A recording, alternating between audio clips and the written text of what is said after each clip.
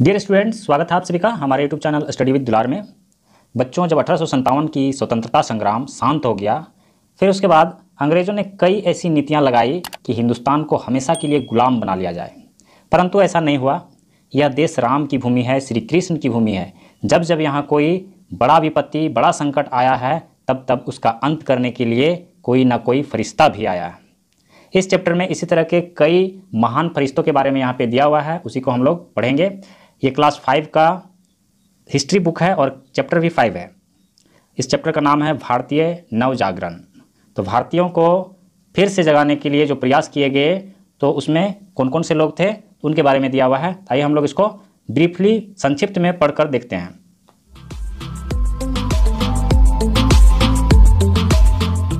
यहाँ पे सबसे पहले दिया हुआ है सांस्कृतिक जागरण।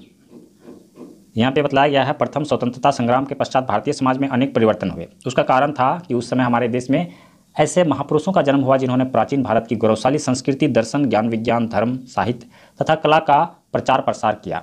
विदेशी शासन के दुष्प्रभाव से आत्मसम्मान खोए हुए भारतवासियों में स्वाभिमान का भाव जगाया। उस काल में समाज जागरण का महान कार्य करने वाले कुछ महापुरुषों के बारे में हम यहाँ जानकारी प्राप्त करेंगे। तो उस समय जो महापुरुष हमारे समाज की कुरुतियों को दूर किया था, उनके बारे में दिया हुआ है, जिसमें सबसे सबसे पहले दिया हुआ है राजा राम मोहन राय के बारे में। ये जो पिक्चर है, उन्हीं का है, आप देख लें इसको, और कहीं भी आपको मिलेगा तब इसको आसानी से पहचान सकेंगे। तो इनके बारे में थोड़ा सा यहाँ बताया गया है कि इनके बड़े भाई का मृत्यु जो है, असामयिक मतलब पहले ही हो गया था, और उनको जब चिता में जलाया जा रहा था तो उनकी पत्नी को सती होने के लिए विवश किया गया। उस समय यह प्रथा चल रही थी, सती प्रथा, और यह देखकर राजा राम मोहन राय उनको यह महसूस हुआ कि यह अमानवीय प्रथा है, उसको समाप्त नहीं कर लूँगा, चैन से नहीं बैठूँगा। ऐसा अपने मन में वो संकल्प कर लिए, क्योंकि उसको देखने के बाद लगा कि ये सही चीज़ नहीं है समाज में। उनके जन्म के बारे में यहाँ पे दिया हुआ है, सत्रह ईस्वी के आसपास हुआ था, और वे संस्कृत, अंग्रेज़ी, अरबी, फारसी, ग्रीक तथा हिब्रू जैसे अनेक भाषाओं के ज्ञाता राजा राम मोहन राय का दृढ़ मत था कि हिंदू समाज में फैली कुरुतियों को दूर करना आवश्यक है। कई सारे लैंग्वेज वो जानते थे, और यहाँ पे समाज में जो भी कुरुतियाँ, परंपराएँ फैली हुई थी, जो ऐसी परंपराएँ जो हमारे समाज को नुकसान पहुँचा रही थी तो उन परंपराओं को वो दूर करना चाहते थे। इसके अलावा यहाँ पे और भी चीज़ें दिया हुआ है। उन्होंने बाल विवाह, बहुपत्नी प्रथा का विरोध किया। बाल विवाह मतलब बचपन में ही शादी कर दिया जाता था और बहुपत्नी मतलब एक से ज़्यादा स्त्रियों से विवाह करना और विधवा पुनर्विवाह को प्रोत्साहन दिया। मतलब जिनका पति असामयिक मृत्यु हो जाता जिनके पति का तो वैसे स्त्रियों को फिर से विवाह करने की अनुमति दिया जाए ऐसा वो चाहते थे और स्त्रियों की शिक्षा की व्यवस्था भी चाहते थे और उन्हें संपत्ति में, अपने पिता की संपत्ति में उन्हें अधिकार मिले, यह भी वे चाहते थे। इसके बाद यहाँ दयानंद सरस्वती के बारे में दिया हुआ है और दयानंद सरस्वती उत्तर भारत में धार्मिक सामाजिक सुधार का सबसे प्रभावशाली आंदोलन स्वामी दयानंद सरस्वती ने शुरू किया। दयानंद सरस्वती का आज भी एक स्कूल चलता है, जिसे डी के नाम से जाना जाता है। तो डी लगभग पूरे देश में है और मैंने भी डी में पढ़ाई किया है। तो उनका बचपन का नाम मूल शंकर था। अठारह सौ चौबीस ईस्वी में गुजरात प्रांत की कठियाबाड़ में पैदा हुए थे। ज्ञान प्राप्त करने की उनकी प्रबल इच्छा थी। ढोंग उन्हें स्वीकार न था। स्वामी दयानंद सरस्वती सच्चा ज्ञान चाहते थे, वे दिखावे का ज्ञान नहीं चाहते थे। इसीलिए यहाँ पे लिखा गया, ढोंग उन्हें स्वीकार न था।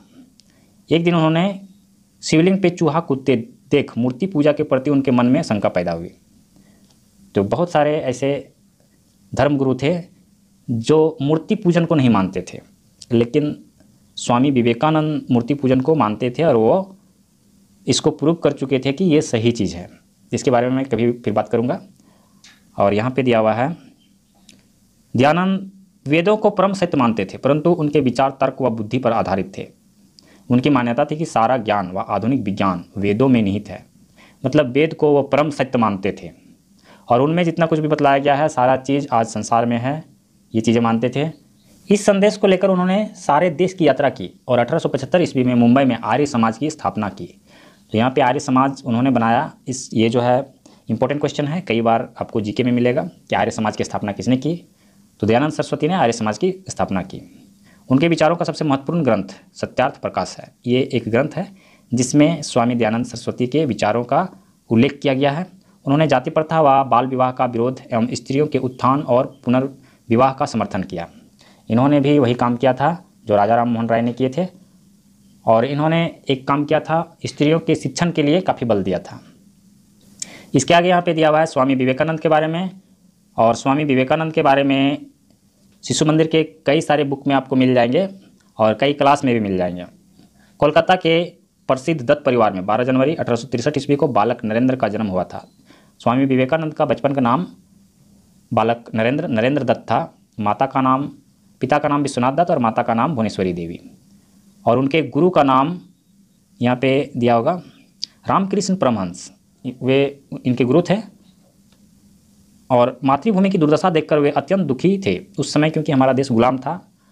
यहाँ पे चारों ओर क्या गरीबी, गंदगी, जड़ता, अशिक्षा व निराशा ही देखने को मिली। उन्होंने स्पष्ट कहा, अपनी दरिद्रता और अवनति के लिए हम स्वयं जिम्मेदार हैं। ये बहुत ही इम्पोर्टेंट लाइन है। आप इसको अपने जीवन में याद रख सकते हैं कि हमारा जो आज स्थिति है अगर हम दरिद्र हैं, गरीब हैं तो उसका कारण हम खुद हैं। तो उसको हमें हटाना पड़ेगा। देश की हालत सुधारने के लिए सभी का आह्वान किया और अठारह ईस्वी में रामकृष्ण मिशन की स्थापना की, जिसका मुख्य उद्देश्य समाज की सेवा करना था। मिशन ने बाढ़, अकाल तथा महामारियों के समय राहत कार्य किया, अस्पताल तथा स्कूल खोले। तो ये मिशन जो है, आज भी चल रहा है। रामकृष्ण मिशन इनके गुरु थे। रामकृष्ण परमहंस तो उन्हीं के नाम पे रखा गया है। रामकृष्ण मिशन। इस तरह से यहाँ पे दिया हुआ है एक विदेशी महिला मार्गरेट नोबुल नामक ईसाई कन्या, उनकी शिष्या बनकर भारत आई। ये भी आपको किसी न किसी चैप्टर में मिलेगा आगे क्लास में। आगे चलकर भगिनी निवेदिता के नाम से प्रसिद्ध हुई, या फिर बहन निवेदिता कह सकते हैं। उनका एक इंडियन नाम रखा गया। उस महान देवी ने अपना सारा जीवन भारत के गरीब, पिछड़े, अशिक्षित लोगों की सेवा में लगाकर उस समय के अनेक देशभक्तों, नेताओं व विद्वानों को प्रेरणा प्रदान की। कोई विदेशी महिला या व्यक्ति जब हमारे हिंदुस्तानी संतों के पास आ जाते हैं, उनके शिष्य बन जाते हैं तो फिर देश और दुनिया की भलाई का कार्य करते हैं। इसके बाद यहाँ पे डॉक्टर केशव बलिराम हेडगवार के बारे में दिया हुआ है। इनके बारे में भी हमें थोड़ी जानकारी रखनी चाहिए। एक अप्रैल सन अठारह सौ नवासी, वर्ष प्रतिपदा संवत उन्नीस सौ छियालीस। हिंदी कैलेंडर जो हमारा विक्रम संवत चलता है, उसके अनुसार ये डेट दिया हुआ है। तो इसमें इनका जन्म हुआ था। राष्ट्र निर्माण व समाज जागरण के लिए स्मरणीय योगदान किया। इन्होंने हमारे देश को, हमारे समाज को ऊँचा उठाने का काम किया और यह स्मरणीय योगदान मतलब याद रखने का लायक है। वे अनेक सत्याग्रहों में जेल गए। कई बार जब गांधी जी का आंदोलन चलाया जाता था और उसमें कई लोग जेल जाते थे तो ये भी कई बार जेल गए।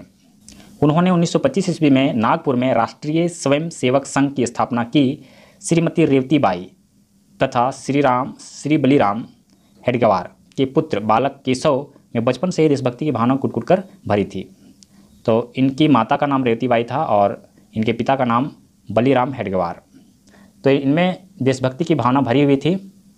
इंग्लैंड की महारानी विक्टोरिया के राज्याभिषेक दिवस के उपलक्ष्य में स्कूल में बांटी गई मिठाई इन्होंने कूड़े में फेंक दिया था। विद्यालय के अंग्रेज़ निरीक्षक का स्वागत वंदे मातरम के जयघोष से करने के कारण उन्हें स्कूल से निकाल दिया गया और पढ़ाई के लिए अन्य विद्यालयों में जाना पड़ा। बाद में डॉक्टरी की पढ़ाई के लिए वे क्रांतिकारियों के गढ़, क्रांतिकारियों के गढ़ कोलकाता गए। उनके विद्यालय में एक अंग्रेज़ निरीक्षक आए थे तो उनके स्वागत में वंदे मातरम बोले। तो उस तरह की नारा उस समय बहुत ही प्रचलित था, आज भी हम लोग वंदे मातरम बोलते हैं अपने देश की शान में। तो उन्होंने बोला तो इसके कारण उनको उस स्कूल से निकाल दिया गया, क्योंकि इस तरह के जयघोष अंग्रेज़ों को पसंद नहीं था। फिर उन्हें दूसरे जगह पढ़ाई करने के लिए जाना पड़ गया। यहाँ पे एक इंपॉर्टेंट लाइन दिया हुआ है, उनकी इस भावना का मतलब संगठित करने का भावना का, उनकी इस भावना का साकार रूप राष्ट्रीय स्वयं सेवक संघ के रूप में प्रकट हुआ, जो आज विश्व का सबसे बड़ा संगठन है। तथा अपनी देशभक्ति, संगठन क्षमता व अनुशासन के लिए दुनिया भर में प्रसिद्ध है। राष्ट्रीय स्वयं सेवक संघ, इसको यहाँ पे आरएसएस के नाम से जाना जाता है, और ये बहुत बड़ा संघ है। महामना मदन मोहन मालवीय 25 दिसंबर 1861 को प्रयाग में जन्मे। इनका जन्म प्रयाग में हुआ था, और हिंदी, संस्कृत व अंग्रेज़ी भाषा का उनका समान अधिकार था। मतलब हिंदी, संस्कृत, अंग्रेज़ी ये बहुत अच्छी तरह से जानते थे। शिक्षा के अभाव को दूर करने के लिए उन्होंने वाराणसी में काशी हिंदू विश्वविद्यालय की स्थापना की, जो उच्च शिक्षा व विश्वविख्यात केंद्र है। बालिकाओं की शिक्षा के वे बहुत बड़े समर्थक थे। राष्ट्रीय शिक्षा के प्रसार में उनका अविस्मरणीय योगदान है। तो शिक्षा के अभाव को दूर करने के लिए यहाँ पे काशी हिंदू विश्वविद्यालय दिया गया है। तो अक्सर जीके के क्वेश्चन में पूछा जाता है कि काशी हिंदू विश्वविद्यालय की स्थापना किसने की थी? तो इन्हीं का नाम आता है महामना मदन मोहन मालवीय। और इसके बाद अरविंद घोष एक सन्यासी बन गए थे, लेकिन देश के लिए काम कर रहे थे। अरविंद घोष 15 अगस्त अठारह सौ बहत्तर को बंगाल में एक ऐसे कर्मयोगी का जन्म हुआ, जिनके पास ऋषियों, मुनियों का ज्ञान, भक्ति व तेज था। इनके पिता डॉक्टर कृष्ण धन घोष ने अपने इस मेधावी पुत्र को अंग्रेज़ों जैसा बहुत बड़ा अधिकारी बनाने के लिए बचपन में ही पढ़ाई के लिए इंग्लैंड भेज दिया, परंतु माँ भारती की कोख से पैदा हुए देशभक्त अरविंद घोष को यह स्वीकारना था।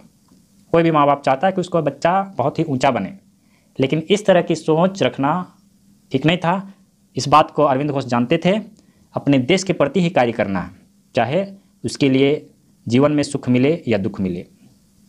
तो वे पढ़कर आए, अपनी पढ़ाई पूरी पूरा किए और आज़ादी के आंदोलन में कूद पड़े। उन्हें कारावास में मतलब जेल में बंद कर दिया गया और उसके बाद वे सन्यासी बन गए। और वहीं से सन्यासी बन गए और अपने कई अनुयायियों को राष्ट्रभक्ति की पाठ पढ़ाने लगे। राष्ट्रीयता का पाठ पढ़ाया करते थे। हज़ारों अनुयायियों ने देश की आज़ादी के लिए अपना बलिदान दिया। जब जितने भी उसके शिष्य थे, सभी देश के प्रति बलिदान करने के लिए तत्पर थे। इस तरह की इनकी शिक्षा थी। संत बन गए, साधु बन गए, इसका ऐसा मतलब नहीं है कि जंगलों में जाकर, पहाड़ों में जाकर बैठ जाएँ। वहाँ पे तपस्या करें। कई साधु का मानना है कि इस तरह करना, वे अच्छा नहीं समझते हैं, वे समझते हैं कि लोगों के बीच रहकर लोगों की भलाई करना। तो इस तरह के वे, उनकी भी सोच ऐसे ही थी। स्वामी राम तीर्थ इनके बारे में ज़्यादा आपको नहीं मिलेगा कहीं पे, लेकिन फिर भी इनकी जानकारी रखना है। पंजाब की धरती पर एक तेजस्वी पुरुष पैदा हुए, जिनका नाम राम तीर्थ था। इनका जन्म अठारह सौ तिरानवे ईस्वी में गुजरानवाला में हुआ था। अट्ठाईस वर्ष की आयु में गणित के प्राध्यापक पद को छोड़कर सन्यासी बन गए। स्वामी रामतीर्थ के नाम से प्रसिद्ध हुए, उन्होंने अमेरिका व जापान जाकर भारतीय धर्म, संस्कृति एवं वेदांत का प्रचार किया। वे अपने धर्म को विदेशों में प्रचार किए। यहाँ पे इनके बारे में थोड़ा सा और आगे दिया हुआ है। भारतीय वेदांत की ज्योति देश विदेश में जलाकर तैंतीस वर्ष की अल्प आयु में ही स्वामी रामतीर्थ ने टिहरी के निकट बिलंगरा नदी में जल समाधि ले ली। उनका जन्म भी दीपावली के के ही दिन हुआ था और जल समाधि भी दीपावली के शुभ अवसर पर हुई। तो वैसे ही समय में बहुत ही कम उम्र में इन्होंने अपना शरीर त्याग दिया था। सिर्फ़ थर्टी थ्री वर्ष। दीपावली के दिन इनका जन्म हुआ था और उसी दिन जल समाधि ले लिए। इसी प्रकार का स्वामी विवेकानंद भी कम उम्र में ही अपने शरीर को त्याग दिए थे। इसके बाद यहाँ पे दिया हुआ है महात्मा ज्योतिराव फूले। उस समय इस प्रकार के अनेक महान समाज सुधारक पैदा हुए, जिसमें से कुछ नाम यहाँ पे दिया गया है। केशव चंद्र सेन, ईश्वर चंद्र विद्यासागर और महादेव गोविंद रानाडे, गोपाल हरि देशमुख, महात्मा ज्योतिराव फूले। महात्मा ज्योतिराव फूले का यहाँ पे पिक्चर भी दिया हुआ है। इसके अलावा और भी लोग यहाँ पे नीचे में दिया हुआ है। समाज सुधारक दादा भाई नौरोजी। समाज सुधारक में कुछ मुस्लिम लोग भी थे। मुस्लिम समाज में शिक्षा के प्रसार, पर्दा प्रथा तथा बहुपत्नी प्रथा जैसी सामाजिक बुराइयों को दूर करने के लिए आंदोलन शुरू हुए। नवाब अब्दुल लतीफ़, एक नाम यहाँ पे दिया हुआ है। तो उन्होंने कोलकाता में पहला प्रयास किया और मुस्लिम साहित्य सभा नामक संगठन बनाया। तो इस तरह का संगठन का नाम कभी आपको जीके में पूछा जा सकता है, इसलिए आप इसको नाम याद रख सकते हैं। विज्ञान के क्षेत्र में यहाँ पे बतला रहा है किस प्रकार से विकास किए कई सारे महान वैज्ञानिकों ने, हमारे देश के वैज्ञानिकों ने। तो यहाँ पे सबसे पहले यहाँ दिया हुआ है जगदीश चंद्र बसु का नाम दिया हुआ है।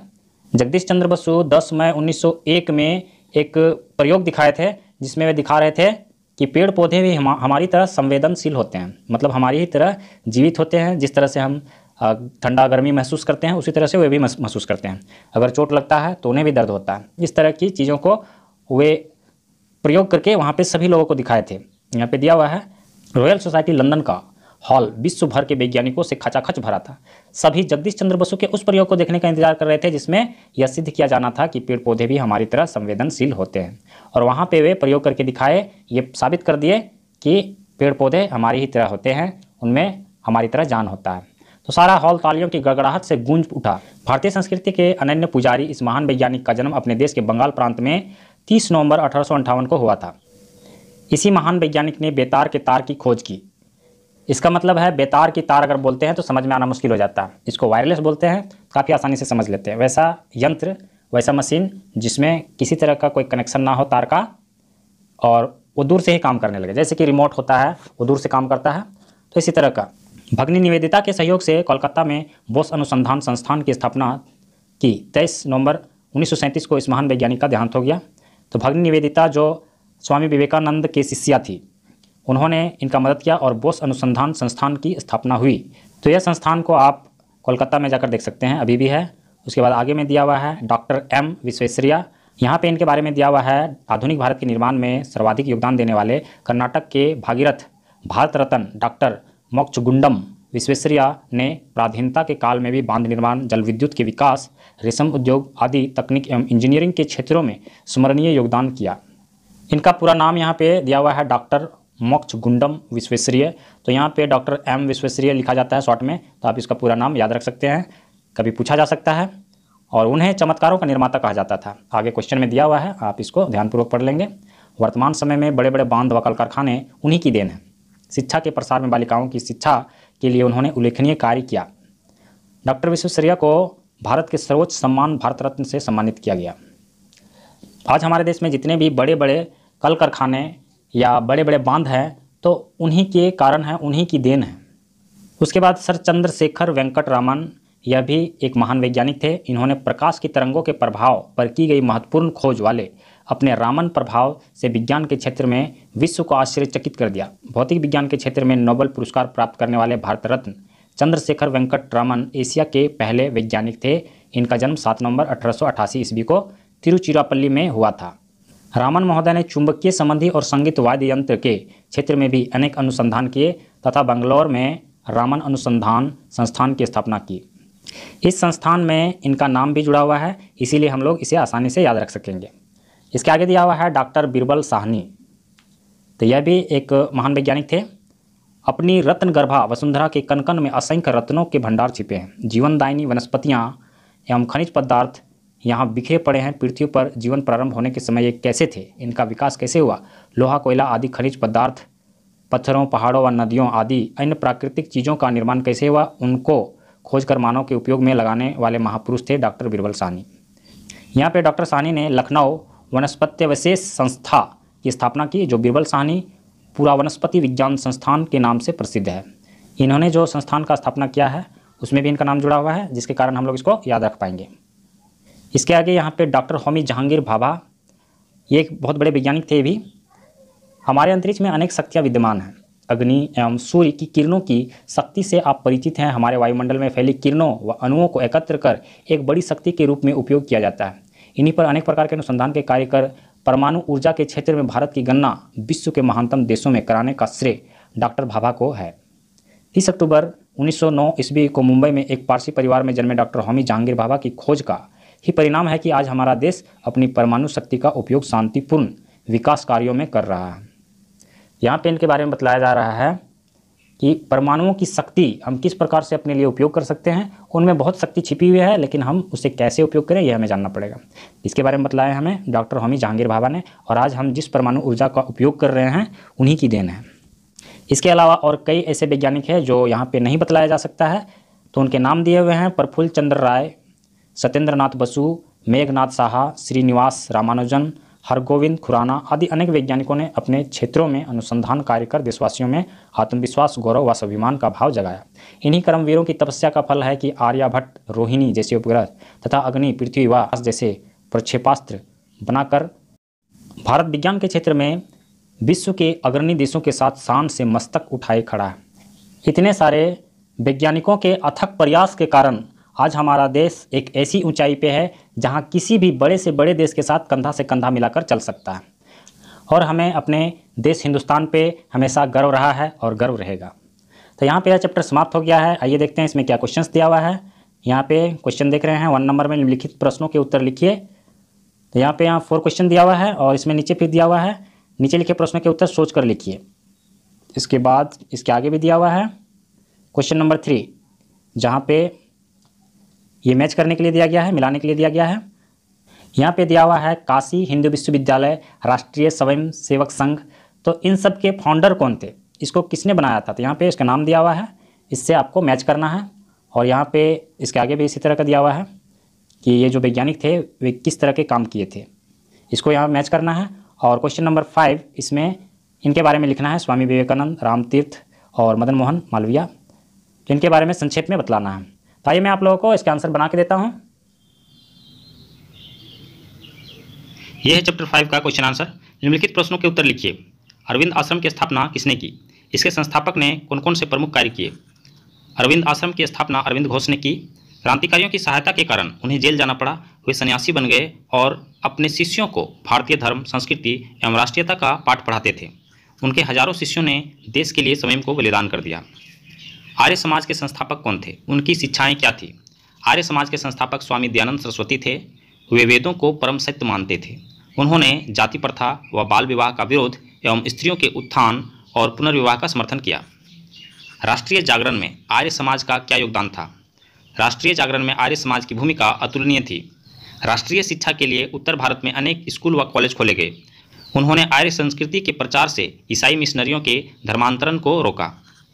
भगनी निवेदिता कौन थी? भारत के लिए उनका क्या योगदान था? भगनी निवेदिता एक ईसाई कन्या थी, वह स्वामी विवेकानंद की शिष्या बन गई। उन्होंने अपना सारा जीवन भारत के गरीब, पिछड़े, अशिक्षित लोगों की सेवा में लगा दी। क्वेश्चन नंबर टू नीचे लिखे प्रश्नों के उत्तर सोचकर लिखिए। अपने देश के किस वैज्ञानिक को भारत रत्न के सम्मान से सम्मानित किया गया? Doctor Mokshagundam Visvesvaraya. Sir Jagadish Chandra Basu ने क्या खोज की? जगदीश चंद्र बसु ने यह सिद्ध किया कि पेड़ पौधे हमारी तरह संवेदनशील होते हैं। चमत्कारों का निर्माता किसे कहा जाता है? उन्होंने आधुनिक भारत के निर्माण में क्या योगदान किया? डॉक्टर मोक्ष गुंडम विश्वेश्वरिया को चमत्कारों का निर्माता कहा जाता है। आधुनिक भारत के निर्माण में उन्होंने बाँध निर्माण, जल विद्युत के विकास, रेशम उद्योग आदि क्षेत्रों में स्मरणीय योगदान किया। परमाणु ऊर्जा के क्षेत्र में भारत का गौरव बढ़ाने वाले वैज्ञानिक कौन थे? उनका जन्म कब और कहाँ हुआ था? परमाणु ऊर्जा के क्षेत्र में भारत का गौरव बढ़ाने वाले वैज्ञानिक डॉक्टर होमी जहांगीर भाभा थे। उनका जन्म 30 अक्टूबर 1909 ईस्वी को मुंबई में हुआ था। बीरबल साहनी पूरा वनस्पति विज्ञान संस्थान कहाँ है? बीरबल पूरा वनस्पति विज्ञान संस्थान लखनऊ में है। क्वेश्चन नंबर थ्री जिसमें मैच करने के लिए बताया गया है तो यहाँ पे मैंने डायरेक्ट इसका आंसर दे दिया है। आप अपने बुक में इसको देखकर टिक लगा सकते हैं। और क्वेश्चन नंबर फोर में भी मैच करने के लिए दिया हुआ है। यहाँ पे इसका भी डायरेक्ट आंसर दिया हुआ है। आप इसको देखकर अपने बुक में मैच कर सकते हैं। क्वेश्चन नंबर फाइव निम्नलिखित महापुरुषों के कार्यों के बारे में संक्षेप में लिखिए। क नंबर में दिया हुआ है, स्वामी विवेकानंद। स्वामी विवेकानंद के बचपन का नाम नरेंद्र दत्त था। 12 जनवरी अठारह ईस्वी को कोलकाता में इनका जन्म हुआ था। रामकृष्ण परमहंस उनके गुरु थे। देश की दुर्दशा देखकर वे अत्यंत दुखी थे। अठारह ईस्वी में उन्होंने रामकृष्ण मिशन की स्थापना की, जिसका मुख्य उद्देश्य समाज सेवा करना था। ख नंबर में स्वामी रामतीर्थ। स्वामी रामतीर्थ का जन्म अठारह सौ तिरानवे ईस्वी में पंजाब के गुजरानवाला में हुआ था। उन्होंने अमेरिका व जापान जाकर भारतीय धर्म, संस्कृति एवं वेदांत का प्रचार किया। भारतीय वेदांत की ज्योति देश विदेश में जलाकर तैंतीस वर्ष की आयु में जल समाधि ले ली। ग नंबर में मदन मोहन मालवीय। मदन मोहन मालवीय का जन्म 25 दिसंबर अठारह सौ इकसठ ईस्वी को प्रयाग में हुआ था। वे दो बार भारतीय कांग्रेस के अध्यक्ष रहे। उन्होंने गुलामी के समय में भारतीय धर्म और सांस्कृतिक जागरण के प्रयास किए।